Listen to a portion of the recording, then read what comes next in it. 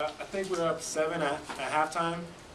I mean, just coach put a real big emphasis on um, on defense and you know pushing the ball because if we're not getting stops, we're not going to be able to push it. So I mean, we really just it was all about playing together on the defensive end, and uh, I think the team really really did that, took that to heart. I mean, uh, I was going to good player and read, but I mean, having like guys like Mellon and Jesse behind me, you know, helps me be able to pressure the ball and like know I have backup back there. So I mean, really we just focus on defense in the second half and try to get stops so we can push the ball more.